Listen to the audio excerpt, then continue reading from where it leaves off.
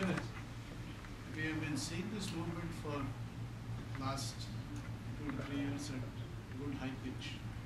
People's involvement is there, political involvement is there. Problem with our future uh, state, potential state as of now, seems to be that the path is being split among three or four political parties. Each one seems to be supporting it in some way. What is your idea or what is your input in terms of possibilities of bringing these together to form a consensus group and thereby put pressure on the center instead of this splintered approach which is leading to failure? మొదలు మిత్రులు అన్నట్టుగా ప్రత్యేక తెలంగాణ ఉద్యమాన్ని ఉధృతం చేసి UPA ప్రభుత్వం మీద ఒత్తిడి తీసుకొచ్చి పార్లమెంట్లో బిల్లు ప్రవేశపెట్టే విధంగా చేయడానికి అన్ని పార్టీలు ఒకటైతే బాగుంటుందనేటువంటి అభిప్రాయం వారు చెప్పడం జరిగింది.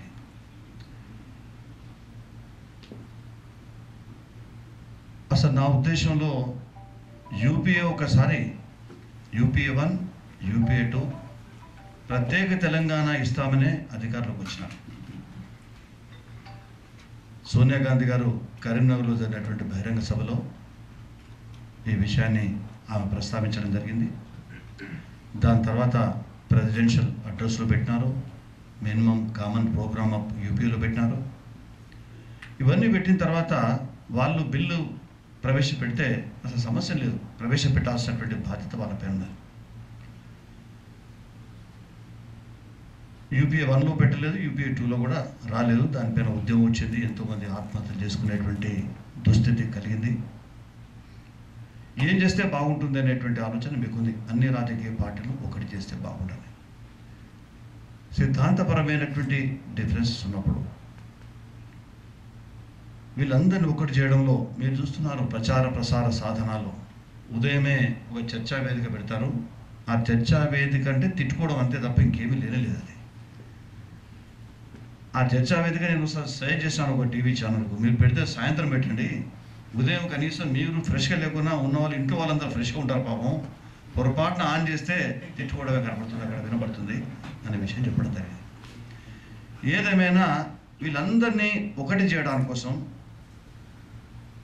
చాలా ఉద్యమ సంఘాలు ఉన్నాయి. జేఏసీ కానివ్వండి టీఆర్ఎస్ పార్టీ కానివ్వండి మిగతా పార్టీలన్నీ ఉన్నాయి. మేము ప్రయత్నం చేసినాం. ప్రయత్నంలో మేము విఫలమైపోయినాం. ఉదాహరణకు రేపు ఉప ఎన్నికలు ఉన్నాయి అందరూ కాంటాక్ట్ చేయదు న్యాయానికి. ఆయన కాంటాక్ట్ చేసేటువంటి ఆలోచన చేస్తున్నారు. ఇటువంటి పరిస్థితి వస్తుంది మీ దాంతో నేను ఖచ్చితంగా ఏకీభవిస్తాను. ఒకవేళ ఈ రాజకీయ పార్టీలన్నీ ఒకటి కాకపోతే ప్రజా ఉద్యమం వస్తే ఇది సాధ్యం కాదా?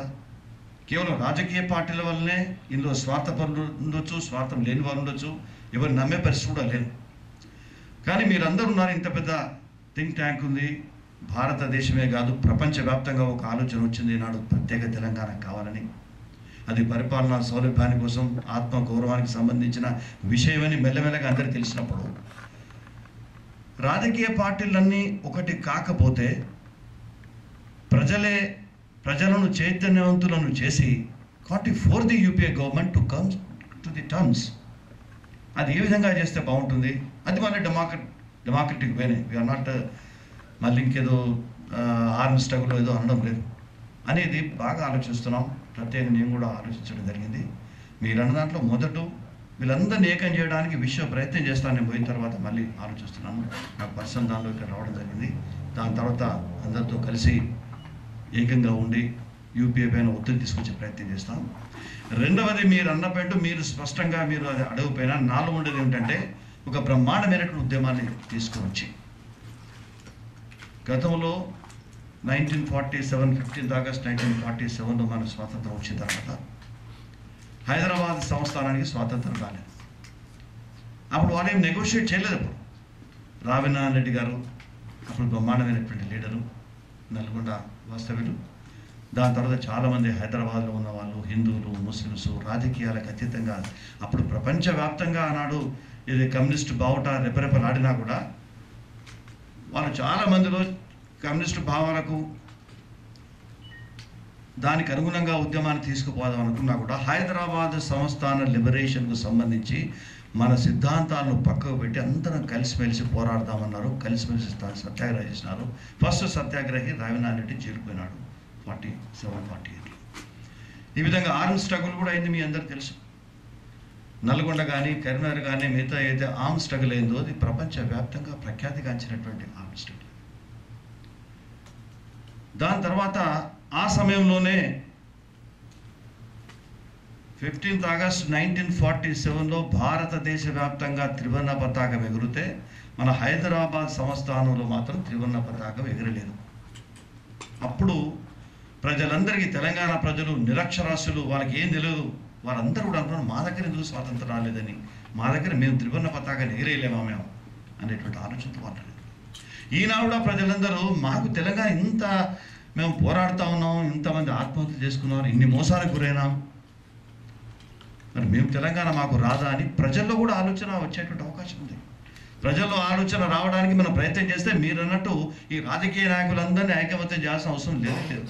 మనం మీరు ఓటింగ్ ప్యాటర్న్ చూసినారు. వేలు వేల మంది బై ప్రజలందరిలో ఉంది ఆలోచన కానీ లీడర్షిప్ లేదు. ఆ లీడర్షిప్ బాధ్యత మీరు తీసుకునేటువంటి అవకాశం ఉంది మాతో పాటు. మీరు ఆనాడు సెవెంటీన్ సెప్టెంబరు నాడు మనకు వచ్చిందంటే అది ఏ రాజకీయ పార్టీ వల్ల రాలేదు ఒక రాజకీయ పార్టీ వల్ల రాలేదు. ప్రజలే ఎంతో సాయుధ పోరాటం చేసి ప్రాణాలు వేలాది మంది ప్రాణ త్యాగం చేసి నిజాం నుంచి తమ స్వాతంత్రాన్ని పుంజుకున్నారు త్రివర్ణ పతాకాన్ని ఎగిరేసినారు. Seventeen September nineteen forty eight నాడు. అంటే థర్టీన్ మంత్స్ టూ డేస్ తర్వాత మన హైదరాబాద్ సంస్థానంలో త్రివర్ణ పతాకం ఎగిరేటువంటి అవకాశం కలిగింది. ఇది ఎక్కడ జరగలేదు. నేను ఎందుకు ఎలాబరేట్ చేస్తున్నానంటే it's a very pertinent question what we have to do మనం ఊపిరి సమావేశాలు పెట్టుకోవడం ఎన్నికల్లో నిలబడడం ఓసారి ఫ్రస్ట్రేషన్ అయితే మళ్ళీ ఒక వన్ టూ ఇయర్స్ అయితే మర్చిపోవడం. నేచర్లో మర్చిపోయినాం ఇన్ని రోజులు మర్చిపోయినాం. మళ్ళీ ప్రజల్లో వచ్చింది కాబట్టి కొన్ని కారణాల వల్ల మళ్ళీ వచ్చింది. ఇదే ఆలోచన మీరు ఒక్కసారి హిస్టరీలో చూసినట్టయితే అప్పుడు స్వాతంత్రం కోసం మనం పోరాడుతున్నప్పుడు అప్పుడు there was a weak provisions ఉండేది ఒక enactment independence act of nineteen forty seven అని. ఆ వీక్ అందులో ప్రొవిజన్స్ ఏం పెట్టారంటే ఒకవేళ ఏదన్నా ప్రిన్స్లీ స్టేట్స్ ఉన్నాయి కదా అప్పుడు five hundred and fifty one states మన లెక్క పట్టున్నాయి. ఆ ప్రిన్స్లీ స్టేట్స్ అన్నీ కూడా తమకు తాము స్వాతంత్రంగా డిక్లేర్ చేసుకోవచ్చు అనేటువంటి ఆ ప్రొవిజన్ అందులో పెట్టినారు. అన్నీ డిక్లేర్ చేసుకున్నాయి. కానీ సర్దార్ వల్లభాయ్ పటేల్ వాళ్ళందరినీ కూడా భారతదేశంలో ఎక్సైడ్ కావడానికి కోసం బ్రహ్మాండమైన ప్రయత్నం చేశారు. ఆయన ఎవరెట్ చేయండి ఫైవ్ ఫిఫ్టీ వన్ స్టేట్స్లలో ఫైవ్ ఫార్టీ ఎయిట్ ఒప్పుకున్నాయి. అని ఒక the saga of liberation struggle కానీ కొన్ని ఫారెన్ ఆథర్స్ రాసిన వాళ్ళు వాళ్ళ దాంట్లో చూస్తే అసలు యాపిల్ పండును తెంపి బుట్టలో వేసుకున్నట్టు సర్దార్ వల్లభాయ్ పటేల్ ఈ ఐదు వందల నలభై ఎనిమిది రాష్ట్రాలను మొత్తం భారతదేశంలో విలీనం చేసినాడు. మూడు రాష్ట్రాలు విలీనం కాలేదు. ఒకటి హైదరాబాద్ సంస్థానం Nizam. Number two Kashmir. Number three Junagadh. నేను why I'm going to the history అనేది ఎందుకంటే హైదరాబాద్లో కూడా పోరాటం ద్వారానే వచ్చింది లిబరేట్ అయినా మనం. తర్వాత Nizam he was rather forced to come to the runs ultimately వాడు మొత్తం ఎస్కే ఆనాడు నిజా సైన్యం వస్తుంది. ఒకటేమో హైదరాబాద్ ఢిల్లీ నుంచి వచ్చినటువంటి పోలీస్ యాక్షన్. తర్వాత ఇక్కడనే ప్రజల యొక్క చర్య వల్ల ఆనాడు ఫైవ్ ఓ క్లాక్ సెవెంటీన్త్ నాడు ఆయనే డిక్లేర్ చేయడం జరిగింది. నేను సరెండర్ అవుతున్నాను ఒక రాజు ఉన్నాడు కాబట్టి మనకు ఆ ప్రిన్సిపల్ స్టేట్లో కూడా ఉన్నాడు కాబట్టి could enter in to agreement with the central government ఒక ఇన్స్ట్రుమెంట్ అయిపోయింది. కాశ్మీర్లో కూడా హరి సింగ్ కూడా ఆయన కింగ్ అక్కడ ఆయన ఇండియన్ గవర్నమెంట్తో అగ్రిమెంట్ అయినాడు కాబట్టి అది ఎక్సిడ్ అయిపోయింది లీగల్గా అయిపోయింది. కొంత ఆ కాశ్మీర్లో ప్రాబ్లం ఉంటే యునైటెడ్ నేషన్స్ మెంబర్ అయింది దట్ ఈస్ మొన్న మొన్న ఈ మధ్యన యునైటెడ్ నేషన్స్ ఎజెండాని కూడా తీసుకుపడేసినారు ఇవి రెండు కూడా రాజులు ఉన్నారు కాబట్టి ఎక్సిడ్ అయినారు. మరి జూనాగఢ్ సంగతి జూనాగఢ్లో ఏమైపోయిందో రాజు పారిపోయినాడు అక్కడికి.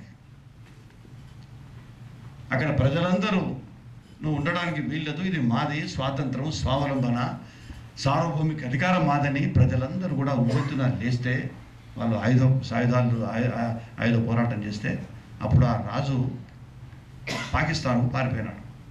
పారిపోతే మరి ఏం చేయాలి ప్రజలందరూ? అక్కడ ఏం చేయాలంటే మీకు తెలుసు మన రాజ్యాంగంలో వెబ్సైట్ కానీ రెఫరెండం కానీ రికాల్ అనే త్రీ డివైసెస్ లేవు ఇండియన్ కాన్స్టిట్యూషన్లో వేరే మీరు కానీ ఇక్కడ అమెరికాలో కానీ నేను అనుకుంటాను న్యూజిలాండ్ కొన్ని రాష్ట్రాల్లో రికాల్ కానీ రెఫరెండం కానీ వెబ్సైట్ ఆ డివైస్ ఉన్నాయి. మన దగ్గర లేదు. కానీ ఒకే ఒక్కసారి ప్రజలకు అభిప్రాయం తీసుకున్నారు. వెబ్సైట్ అది జునాగఢ్ ప్రజల అభిప్రాయం. అవి ప్రజలందరి అభిప్రాయాలు తీసుకొని ప్రజలందరూ కూడా ఈనాడు భారతదేశంలోకి వెళ్దాం అనుకుంటున్నారు. We cannot enter enter in an agreement because already king fled away to the Pakistan అని భారత ప్రభుత్వం ప్రజల ఒపీనియన్ తీసుకొని భారతదేశంలో జునాగఢ్ విలీనమైంది అదే భారతదేశంలో ప్రజాభిప్రాయ సేకరణ చేసిన తర్వాత విలీనమైన ప్రాంతం అదే మొదటి ప్రాంతం అదే చివరి ప్రాంతం. నేను అంటాను బైకాన్ తెలంగాణలో. ఇది లేదని కాదు కదా. These are the things we have to elaborate అనే మరొకేషన్ if you believe this these politicians I though I'm a politician though I belong to BJP I'm coming to his answer but definitely you need not rely on the political leaders let us all together fight fight out is it the prestige issue ఇస్తుందా ఏమవుతుంది? Election అయిన తర్వాత ఏమవుతుంది? ఏమవుతుంది? ఏమవుతుంది? మనం చూస్తారు మన ఈ ఉప ఎన్నికల్లో రాజీనామా చేసి మళ్ళీ గెలవడానికి ప్రజలందరూ కూడా ఎంత మెజార్టీ ఇచ్చినారు. Is it not the website కదా అది? ప్రజలందరూ నువ్వు తెలంగాణ కోసం రాజీనామా చేయమనంటే మరి రాజీనామా చేస్తున్నారు is it not recall definite is the recall though constitution లేనప్పటికీ కూడా it has been implemented in Telangana everything has become. So, for in this way, it has attracted this kind of democratic device మనం ప్రపంచంలోనే అతిపెద్ద ప్రజాస్వామిక దేశం భారతదేశం. అంత పెద్ద కాన్స్టిట్యూషన్ మనకు ఉంది. బ్రహ్మాండంగా దాన్ని ఇంటర్ప్రిట్ అవుతున్నాయి సక్సెస్ అని చాలా సందర్భాల్లో మనం అమెండ్మెంట్లు చేసుకున్నాం. కాబట్టి దీన్ని కూడా ఆలోచించాలి. ప్రజా పోరాటాన్ని ప్రజా పోరాటం ద్వారా మనం ఈ కేంద్ర ప్రభుత్వాన్ని ఒత్తిడి తీసుకురావడం ఒకటి. రెండవది అసలు పోరాటం నిరంతరంగా కొన్ని స- కొన్ని రోజుల పాటు చేస్తే ఖచ్చితంగా జునాగఢ్ మాదిరి వస్తుందనేటువంటి పర్సనల్ అభిప్రాయం నాకు ఉంది బట్ హవెవర్ అన్ని పార్టీలు కలపడానికి మీ ప్రశ్న ఉందని కలపడానికి ప్రయత్నం చేస్తాం.